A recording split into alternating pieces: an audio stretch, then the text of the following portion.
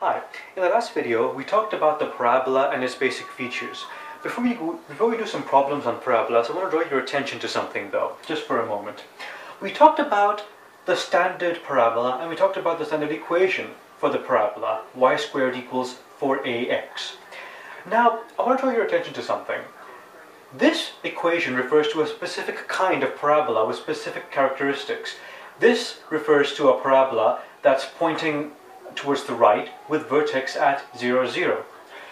But that's the standard parabola. You know that there are other that there are other characteristics a parabola can take. Um, this is a possible parabola, this is another parabola, this is another parabola, and this is another possible case. You see, there are various orientations that a parabola can take. The vertex may not be 0, 0 either. It could be 1, 2, or it could be 5, 10. So the characteristics of the parabola can change. Now, when the characteristics of the parabola change, i.e. when we're not talking about the standard parabola, this equation y squared equals 4ax may change slightly. It'll still, or it'll still have the overall gist of y squared equals 4ax, of course.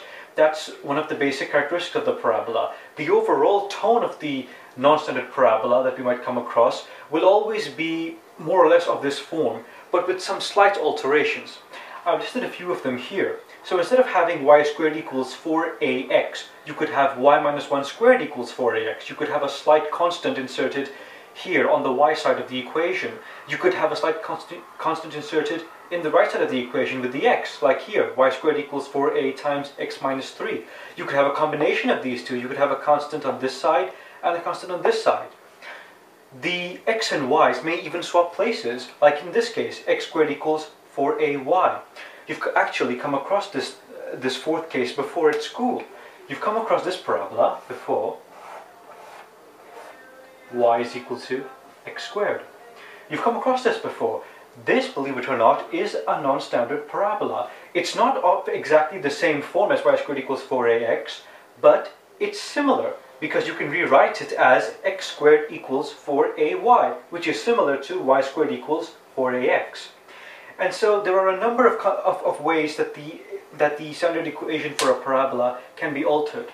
And that principle can be applied to all conic section equations. All conic section equations, normally, uh, you'll come across the standard case, but in problems you'll come across non-standard cases. So the question then arises, how do you tackle the situation of a non-standard uh, conic section? I thought we'd first begin by looking at an example, which I'm sure most of you can already do. I'm going to talk, a bit about a circle problem here. Remember in the first video, we talked about the standard circle which had center 0, 0, and we said that when the center is 0, 0, the equation of the circle is x squared plus y squared equals r squared. But we also said that circles are often non-standard as well, and they may not have center 0, 0, they might have center a, b. So, and, and we said when this, the circle is not standard, the equation changes slightly. It becomes x minus a squared plus y minus b squared equals r squared. As you can see, the two equations are very, very similar in the standard and normal and sorry, standard and non-standard case, but there are slight alterations when it's non-standard. So we're going to do a problem about a non-standard circle and apply the same principles that we use here with non-standard problems involving other conic sections. You're given a question in your, in your practice sheet actually. Find the center and radius of this circle, x squared plus y squared plus 8x plus 10y minus 4 equals 0. Most of you will look at this and realize immediately it's not a standard circle because it's not of the form x squared plus y squared equals r squared. But what most of you will do is you'll say, okay, this is a sort of a messy, untidy equation. Let me try and rewrite this equation in standard form so, uh, i.e. in a form that resembles this form, and then maybe I can solve the problem. So what most of you will do is, you'll try completing the square, like I've shown here, and you'll rewrite it in the form x plus 4 squared plus y plus 5 squared equals 45. Once that's done, you can tell that this resembles this form quite well, and it looks much neater than that. Once you've rewritten it in standard form, you can solve the equation much more easily.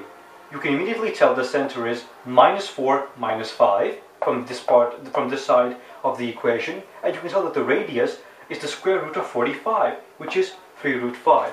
I know this problem is something you most of you can do, but the objective of going through this problem was to emphasize and make you appreciate that when you have a non-standard problem, which will be the case in your exam, you will have to manipulate your knowledge to try and tackle the problem. And that's usually done by, if you're given a messy equation, by rewriting it in standard form. And once it's in standard form, you'll realize that it's much easier to solve the problem.